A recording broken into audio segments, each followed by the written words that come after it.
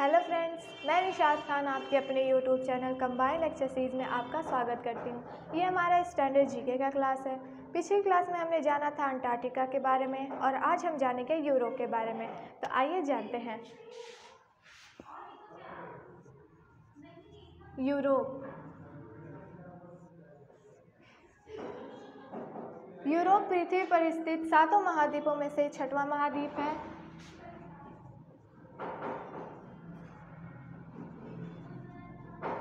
पृथ्वी पर स्थित।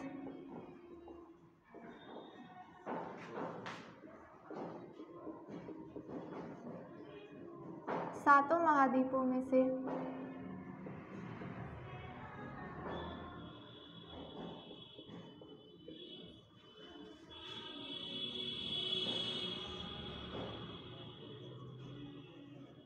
छठवां महाद्वीप है।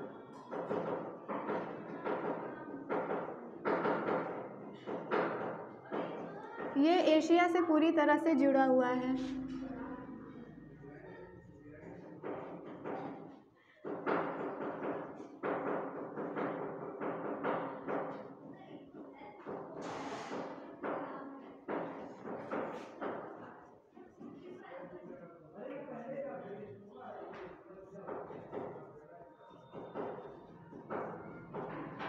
यूरोप के क्षेत्रफल के आधार पे यूरोप जो है विश्व का दूसरा सबसे छोटा महाद्वीप है।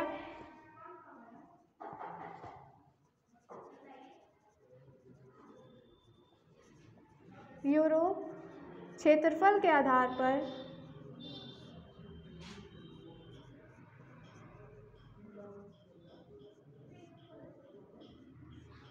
विश्व का दूसरा सबसे छोटा महाद्वीप है।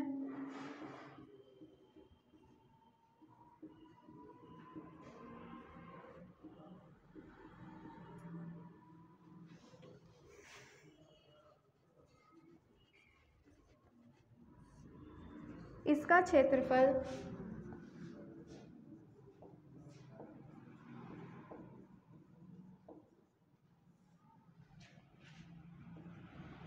दस करोड़ अठारह लाख वर्ग किलोमीटर है।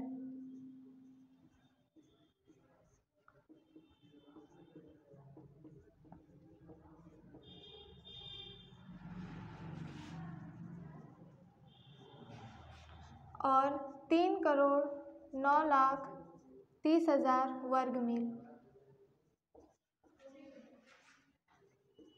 वर्ग मील है। जैसे कि यूरोप क्षेत्रफल के आधार पर विश्व का दूसरा सबसे छोटा महाद्वीप है, जिसका क्षेत्रफल 10 करोड़ अठारह लाख वर्ग किलोमीटर है और तीन करोड़ नौ लाख तीस हज़ार वर्ग मील है। जो पृथ्वी की सतह पर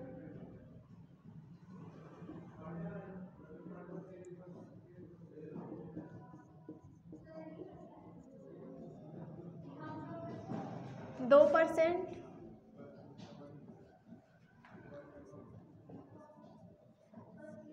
और क्षेत्र का लगभग छः दशमलव आठ परसेंट है।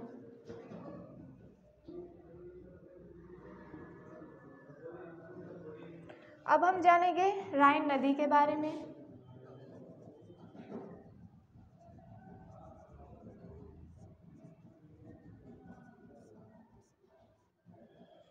राइन नदी और सीन नदी, दोनों महत्वपूर्ण नदियाँ हैं।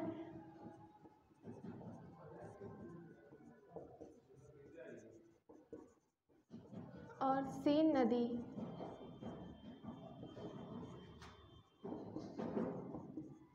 दोनों महत्वपूर्ण नदियाँ हैं।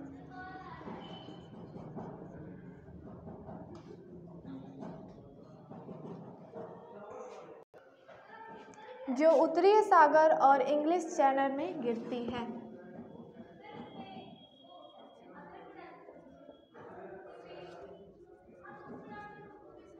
जो उत्तरी सागर और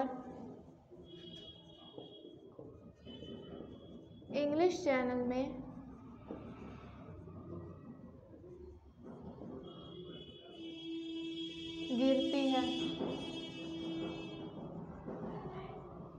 अब हम जानेंगे आल्पस पर्वतमाला के बारे में।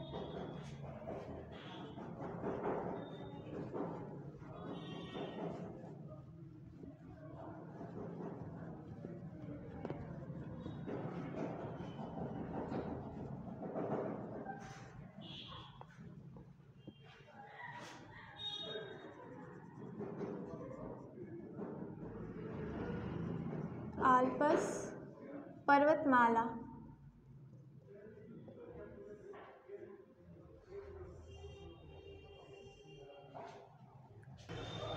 आल्पस पर्वतमाला, यूरोप यूरोप महाद्वीप के दक्षिण में यूरोप महाद्वीप के दक्षिण में ऊँचे पर्वतों का एक श्रृंखला है। यूरोप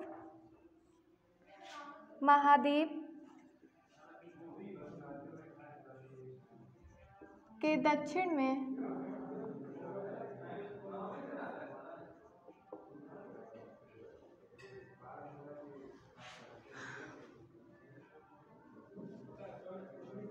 ऊँचे पर्वतों का एक श्रृंखला है।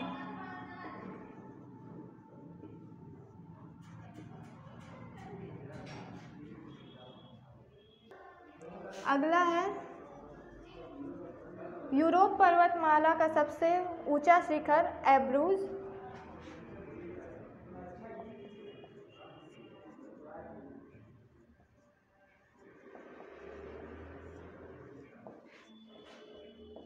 सबसे ऊँचा शिखर।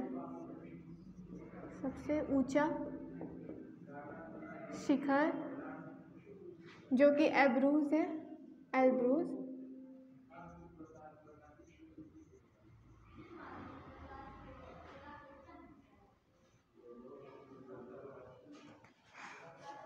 जो पाँच हज़ार छः सौ तैंतीस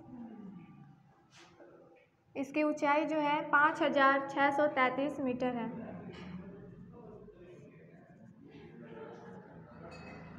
जो काकेशस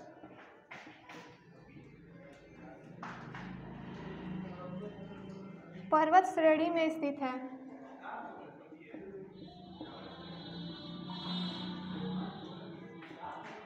में है। यूरोप पर्वतमाला का सबसे ऊँचा शिखर एल्प्रूज है जो 5,633 मीटर ऊँचा है जो केकेस पर्वत श्रेणी में स्थित है। अगर आपको इसमें कोई भी डाउट हो तो आप कमेंट करके पूछ सकते हैं। तब तक के लिए थैंक यू